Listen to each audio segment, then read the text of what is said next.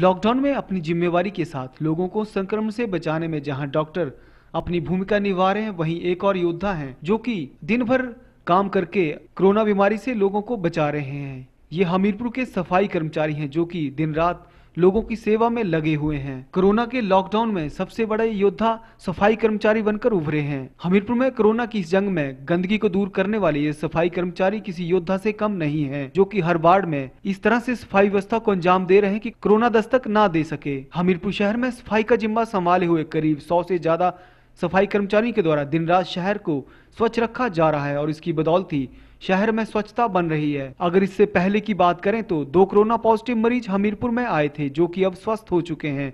एक मामला आज ही पेश आया है जो कि बरसर क्षेत्र से संबंधित है। कोविड योद्धा बने सफ़ाई कर्मचारियों के द्वारा शहर को स्वस्थ रखने के लिए कोई कोर कसर नहीं छोड़ी जा रही है जिस कारण लोग भी इन सफ़ाई कर्मचारियों का आभार जताते नज़र आ रहे हैं। हैं? वार्ड नंबर नौ जी।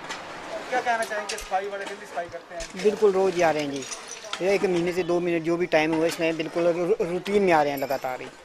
कोरोना फैला है तो क्या मानते हैं कि कोरोना को फैलने से बचाने के लिए कितना रोल है? ब- बहुत महत्वपूर्ण रोल है जी। जैसे मेडिकल का है वैसे पुलिस का वैसे इनका रोल है बीच में जी। और ज़रूरी है ये सब। और अपने हिसाब से बिल्कुल ठीक चल रहे हैं जी। हालाँकि अभी तक किसी ने भी सफ़ाई कर्मचारी को सम्मानित नहीं किया है जिससे इनके मन में थोड़ा सा मलाल ज़रूर है। अजीत आप क्या काम करते हैं? सर ये सफ़ाई कर्मचारी का काम करते हैं। कहाँ कहाँ सफ़ाई कर रहे हैं सर ये पाँच नंबर चार नंबर वार्ड में करते हैं।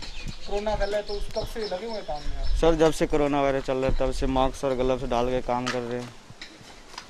तो आपको डर नहीं लगा इस दौरान में सर डर तो लगेगा ही अब सर इसमें मगर क्या करें हम?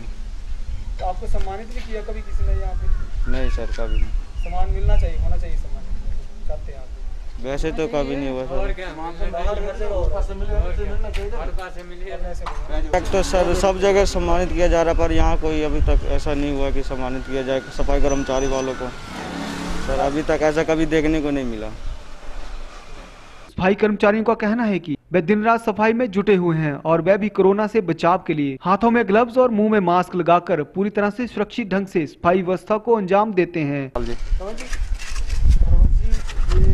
से आप काम कर रहे हैं जब से ये कोरोना शुरू हुआ जब से लगे हुए हैं जी सफाई में तो कोई जो नियम एहतियात बरतते हैं पूरा आप? हाँ जी पूरा जी गलाव जी दस्ताने सानू सब कुछ मिलेगा जी ते काम कर रहे जी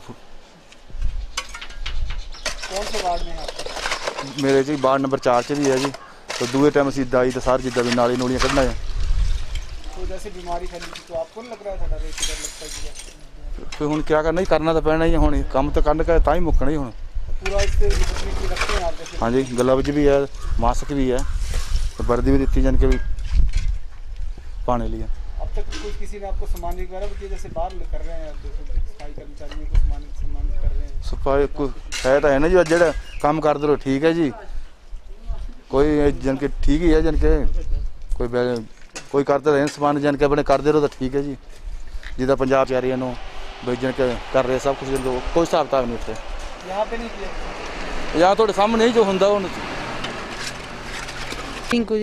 आप क्या काम करते हो? सर बस मैंने ये कूड़ा कड़ा ले जाना और बजूरी कूड़े खत्ते हुए वहाँ पे डंप कर देना है।